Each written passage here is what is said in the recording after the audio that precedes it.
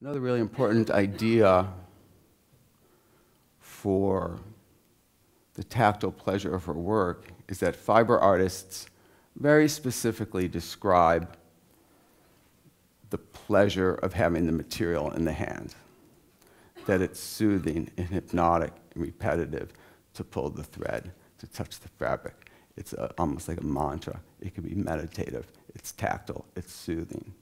And I think she really derived that pleasure. And you see it almost every, um, I'm going to cut ahead on the critical stuff to get to there's Joyce and Judith as twin sisters. So look at these, right? Are those, are those, are those they? I don't know. You know, we don't know. But we can make that assumption perhaps. So this is Judith making her very first piece. Um, it's the only piece she painted. She wrapped this wood, and uh, then she painted it. Stan, who you saw in the film, was so surprised that she was doing this that he actually had a camera and said, oh, We're going to take a picture of this. we're, never, we're never going to see this again. But from the moment she did this first one until you know, her death, she didn't stop to the point where her fingers were bleeding and she wanted them to be bandaged.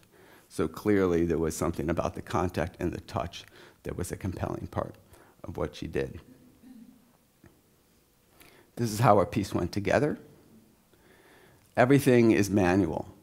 It's, she's acquiring objects, which I think responds to her life in an institution where there's no privacy, there's no personal objects, everything is subject to search and seizure. So she'd take things and acquire them. That's the art term, I think she'd steal them. And start, start to build them and sort of build these armatures for them over a period of time. Now, it's also interesting to notice these very early photographs of Judith. You see her without the head wraps and the hats. And as she became more developed in her work, what she wore on her head became more and more elaborate.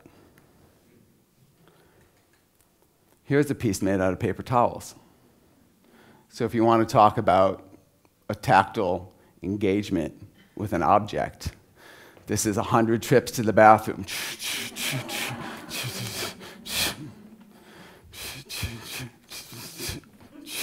Right?